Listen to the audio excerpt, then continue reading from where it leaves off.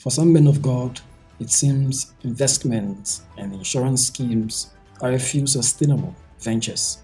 Quite recently, leader of the ZCC was in the spotlight for some money racketeering on the congregation of arguably the largest religious gathering in Southern Africa, allegedly by leaders of the church.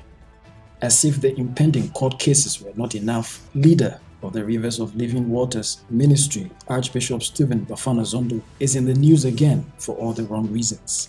A former secretary of the Archbishop has exposed what seems another scam to take advantage of members of the church with a non-existing insurance company. Uh, which was the Rivers Life, which is a funeral cover that supposedly belongs to the church. And what I discovered, it was unregistered.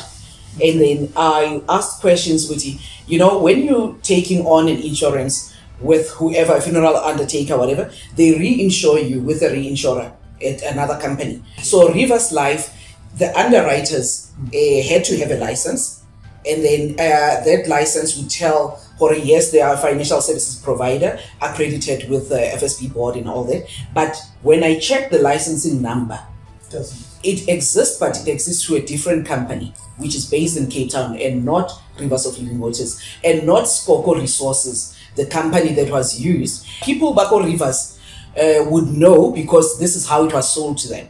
Which Skoko Resources is in partnership with Rivers will are forming a Rivers Life, and there's money that was taken out of the church to buy the shares into Skoko Resources. So when the money that was taken to buy those shares and then the licensing deal did not go through, the money did not come back uh, to the church.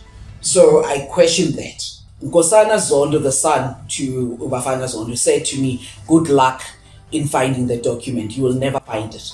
And I said, Okay, until I find the document, there is no way we can continue selling because I needed to understand how much revenue is being made from selling the policies and the claims because that's where the money comes in, in the claims.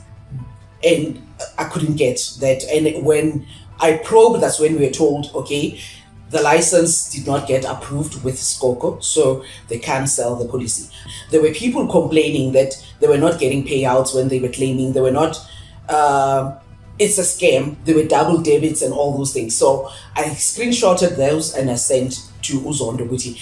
This thing is going to give the church a bad name, and we don't even have an agreement with the service provider and the service provider Skoko did not even have a license so we can't continue with this thing she says strangely the non-existent company is still operating in south africa it is still there people are still paying it's not registered and there is no licensing for short-term insurance so in Pretoria, I stopped it and they said they, there is not going to be any announcement made for people to join this uh, uh, uh, funeral cover because it does not exist but it's still done uh, on the side by a lady, uh, Mapule uh, She's still selling it because for whatever reason they're getting 20 rands for every person they sign up, something like that.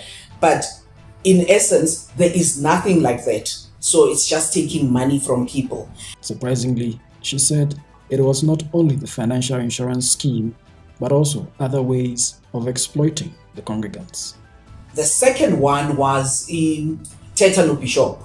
People had to change their SIM cards and get a Cell C SIM card then. Mm. And then the money, uh, and then on every day they were uh, uh, getting five rands uh, deducted from their airtime mm. so that they can get an, an, automated message from the bishop. It's supposed to be every daily messages from the bishop, okay. but taking five rands from you.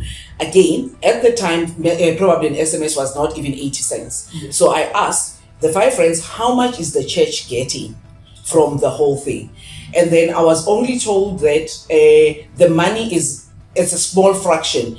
The money goes into Nkosana's account, the son. I said, it's a, and in Nkosana's words, he says it's negligible. I'm like, okay, what is so little that you can't give it to me? Just give me the figure and say how much is coming in, is getting into your account that we're encouraging people